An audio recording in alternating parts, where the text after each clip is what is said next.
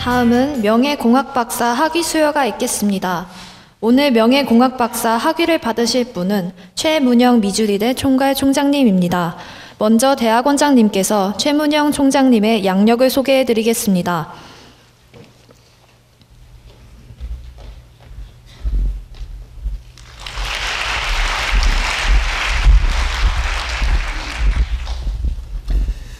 포스텍 제7호 명예공학 박사 학위 수여 예정인 최문영 미주리대 총장님은 1964년 서울 출생으로 9살 때인 1973년 가족과 함께 미국 오하이오주로 이주하셨습니다. 1987년에 일리노이 대학을 졸업하신 후 프린스턴 대학에서 기계 항공공학 석사 학위를 3년 뒤인 1992년에 박사 학위를 취득하셨습니다.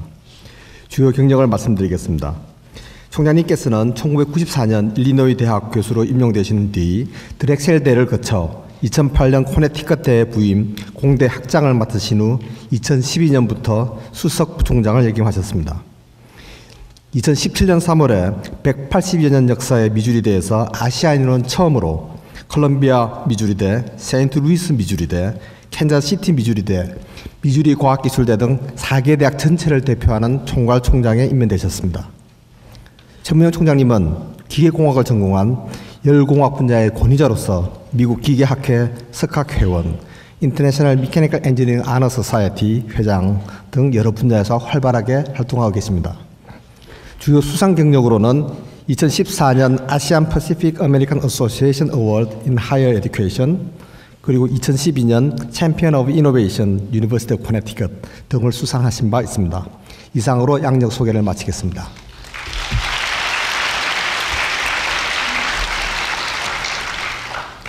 다음은 김도현 총장님의 명예공학 박사 수여사가 있겠습니다.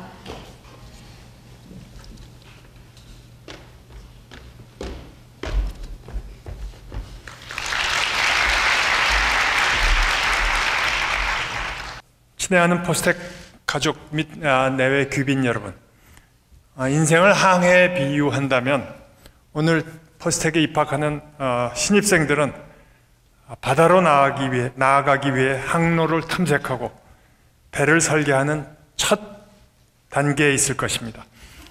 아, 그리고 명예박사학위 수여식은 먼저 항해를 떠나 성공적으로 새로운 항해를, 항로를 개척한 선배의 업적에 존경을 보내는 특별한 환영식이라고 할 수 있습니다. 어, 포스텍 명예박사 학위를 수여받는 분은 어, 우리 대학이 추구하는 인재 가치의 표상이라 할 수 있으며 어, 그런 측면에서 오늘 최문영 총장님께 명예 공학 박사 학위를 수여하고자 합니다. 어, 포스텍의 교훈은 창의, 성실, 진취입니다. 어, 우리 사회와 인류 발전에 직접 기여할 글로벌 리더에게 필요한 세 가지 덕목입니다. 아, 그런 측면에서 어린 나이에 미국으로 이주해 여러 역경에도 탁월한 연구 업적과 혁신적인 리더십으로 미국 고등교육과 과학기술 발전에 기여해 오신 최문영 총장님의 삶은 우리 신입생과 구성원들 모두의 귀감이 될 것입니다. 아, 열공학 분야의 세계적인 권위자이신 최 총장님은 커네티컷 대학 수석 부총장 역임 당시 아, 전국적인 적극적인 연구 지원과 활발한 산학 협력을 통해 대학을 미국 최우수 주립대학 중의 하나로 성장시키셨습니다. 아, 이후 고등교육과 과학기술을 모두 아우르는 혁신가로 인정받아 2017년 4개의 캠퍼스 7만 7천 명의 구성원을 이끄는, 이끄는 미주리대 총괄 총장으로 선임되셨습니다. 아, 최문영 총장님은 180년 역사를 지닌, 지닌 미주리 대학교의 최초 아시아계 출신 총장으로서 미국과 세계 고등교육계에서 신뢰와 소통의 리더십을 발휘하고 계십니다. 오늘 아, 새로운 항해를 준비하는 첫걸음을 내딛는 새내기 포스테키안들이 최문영 총장님의 삶에 공감해서 성실하고 진취적인 자세로 미래로 이끌, 미래를 이끌어가길 기대합니다. 포스텍의 아, 새로운 가족이 되시는 최문영 총장님을 진심으로 환영하고 어, 축하해 주시기 바랍니다. 감사합니다.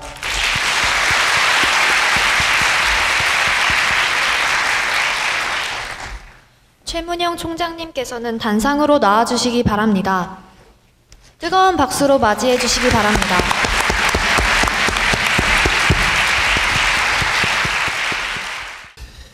명박 제7호 학위기 성명 최문영 생년월 1964년 3월 19일 국적 미국. 위 사람은 학술 발전과 인류 문화 정진에 지대한 공헌을 하였기에 본 대학 대학원 위원회 의결을 거쳐 이에 명예공학 박사 학위 수여를 추천함. 2019년 2월 15일 포항공과대학교 대학원장 이학 박사 김승환. 예, 위의 추천에 의하여 명예공학 박사 학위를 수여한 아, 총장 김도연.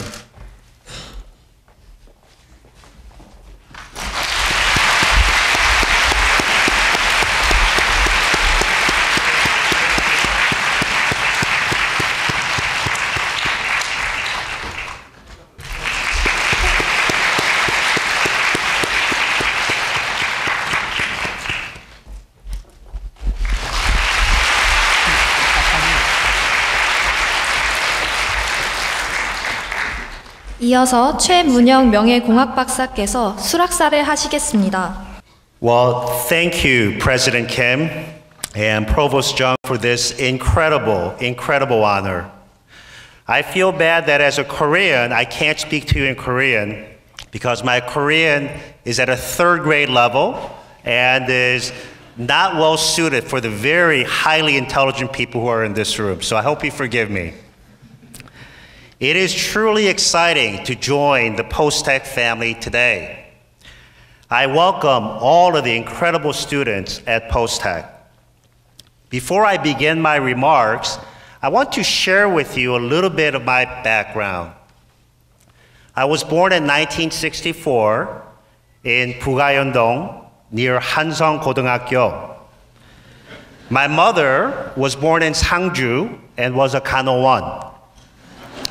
My father was born in Haeju and worked at Shani Bang. and I grew up reading about Hongbu, Norbu, Samguk Sagi, and Isun. I also listened to the music of Song Chang-sik, Patty Kim, and Lee Young-bok. In 1973, my family immigrated to America. I was filled with excitement about the possibilities in this land of great promise. But I was also a little bit afraid, uncertain about this unknown country. In America, my father and mother started a business making Taekwondo dobok. And my three younger sisters now run that company in Chicago. I attended grammar school, high school, college, and graduate school, like many Koreans who immigrated to America before me and after me. Nothing about my story is remarkable. Nothing about my life is remarkable. The only remarkable thing that I can share with you is the value of hard work and dedication instilled in me by my parents. I share this story because it demonstrates what is possible. If I can do it, I know you can do it as well.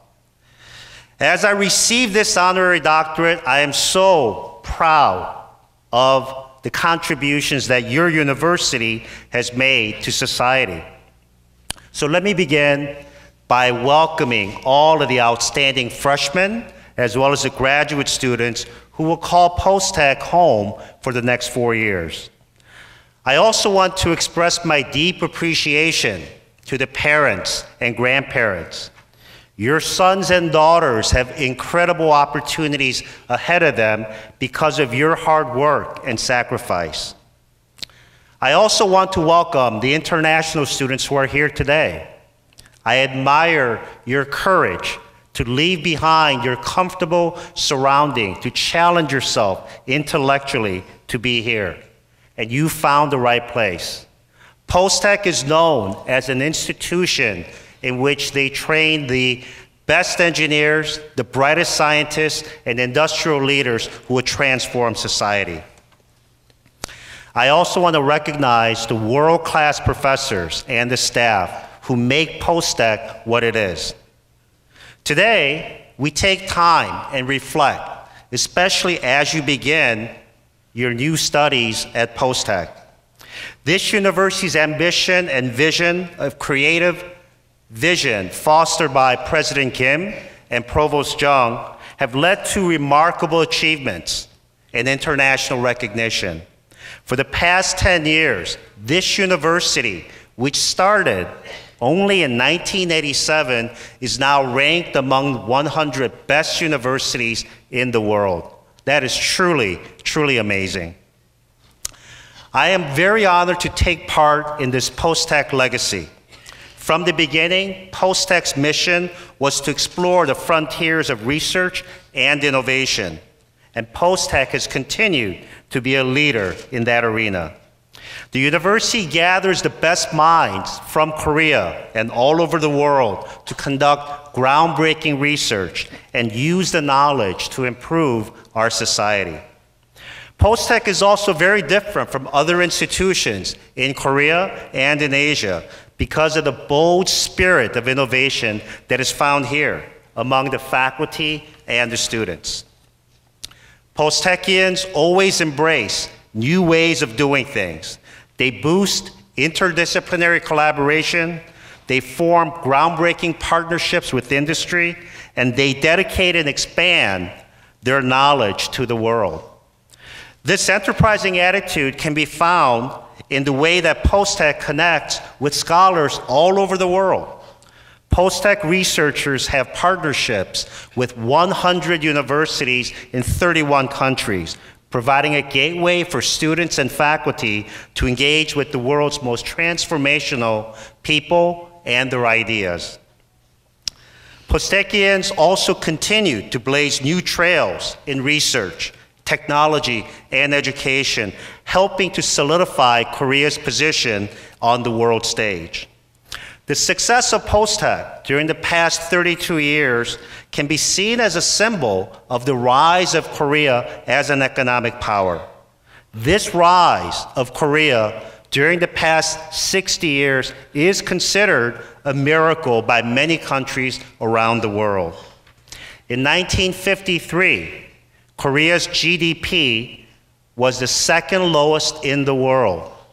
Now, who can believe that Korea's economy is now the 11th largest economy in all the world? That is truly incredible.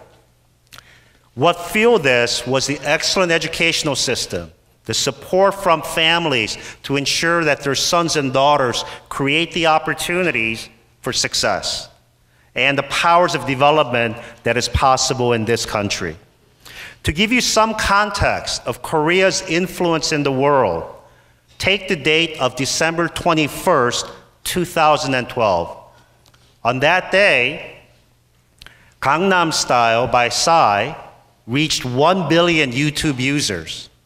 In terms of advancing Korean culture, there was nothing like it. Also, on that day, the two very important people on the world stage who held power positions of influence were Ban Ki-moon, the UN Secretary General, as well as Jim Yong Kim, who served as the president of the World Bank. And now Korea is known throughout the world for its innovation and its culture. This spectacular transformation was made possible in only a few generations through the determination and resilience of the country's spirit and the hard work of your parents and your grandparents. It is clear that this bold spirit that has propelled Korea's prominence is the same spirit that is found at POSTECH. I strongly believe that POSTECH is the Caltech of Asia for many reasons. POSTECH also stands apart because it has chosen to endeavor to a higher mission. In 2016, under the vision of President Kim, POSTECH launched the Value Creating University, united by the vision and the university's commitment to enrich and advance society and humanity. I wholeheartedly believe that education can be used as a transformational means to advance society, and that the value of education is its ability to transform individuals through that process. This is a lesson that is well understood in Korea, but must also be remembered throughout the world for the sake of humanity's progress. By embracing the mission to create value for the betterment of humanity, Postech has chosen a path that will guide its future to continued excellence. So, students, you have a role in transforming society through your education. The Postech education will give you that opportunity to learn the skills to become an influential leader and to continue that legacy of success. But as your studies will show, that to be a leader requires more than science, technology, requires more than engineering and mathematics. You have to pursue to become a complete, a complete individual through your education. So I hope that you remember that as part of your success, your commitment to the arts, humanities, and social sciences is going to be key for you to develop into a comprehensive global citizen. There is an unfortunate stereotype about scientists and engineers that they can be robotic, uncreative, and perhaps even unfeeling. But we must dispel with that myth and really throw it out. The history of this institution demonstrates that the stereotypes are not true because creativity is a driving force that defines this institution's educational system and research. First and foremost, the most creative engineers and scientists understand the value that they provide to humanity and to society. The creative ability to dream and imagine new technological horizons is tied closely to your own ability to break down the disciplinary barriers and draw new connections among them. By expanding your education beyond the classroom and familiarizing yourself with the arts and culture, you will gain a competitive advantage to develop creative solutions to global problems. Study of the human nature is also very important because as you become successful in your career, you will be solving more and more complex problems that require you to work with diverse people with diverse views. As diligently as you study your coursework, you should also study the human spirit to better understand the forces that drive and motivate individuals. As engineers and scientists at this university, your ultimate mission is to improve humanity. Your ability to help people depends on connecting with them in a meaningful way so that you can understand the problems that they face. The liberal arts, the commitment to the liberal arts will help you fulfill your responsibility to humanity and to society by intellectually challenging you to do more. I would like to conclude now by sharing with you three very important characteristics so that all of you can live a life of meaning. In my own life, life of meaning were really defined by three very simple approaches. The first is the commitment to excellence. Your strength can only be revealed and continue to grow if you challenge yourself to do better each and every day. I encourage you to allow your path to be guided by this pursuit in your training, in your efforts, and in your future decisions. I urge you not to shy away from the challenges out of discomfort or fear. By pursuing excellence, you always avoid the regret that you have that you may have done more to be successful. The second quality is resilience. In your journey, the ability to be resilient will set you apart. Challenges will come, and some days there will be more pain than joy. It is in your power to choose how you will act and react. There will be temptation at times to let cynicism, bitterness, and hopelessness affect your view of the situation. But you are never without the ability to make a positive impact and have a positive reaction. I advise you to embrace the power of resilience by treating times when you might fail, when you might stumble, as a fresh beginning, a moment of reflection that provides the opportunity to tackle your goals with a renewed strength. The final quality that I believe is important in living a life of meaning is compassion. Success is worth nothing if it does not mean that you brought joy and light to others by interacting with them, by supporting them. This requires both understanding and compassion, which is exercised through the kindness and respect that you share with your fellow man and woman. Together, these qualities will serve you well. Always come back. Always come back to these three qualities to decide which direction you want to take with your life. So, in closing, February 15th, today, is a very special day in the history of science and humanity.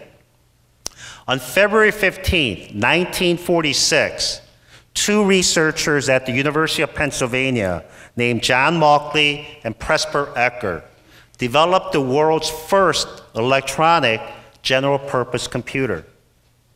On this date, on February 15, 2001, Francis Collins, as well as Craig Venter, were the first to publish the complete human, human genome. Imagine what these two breakthroughs have meant for society that came about because of the work of scientists and engineers. So today, on February 15, 2019, let's mark this as a very special day where all of you who've gathered here from all over Korea and all over the world have decided that this is the place you're going to be using your intellectual capabilities to solve the world's grand challenge problems and to help improve society. So, Postechians, I am very proud to be one of your own, and I wish you great success in the future, and I look forward to many breakthroughs that you will lead. Thank you very much.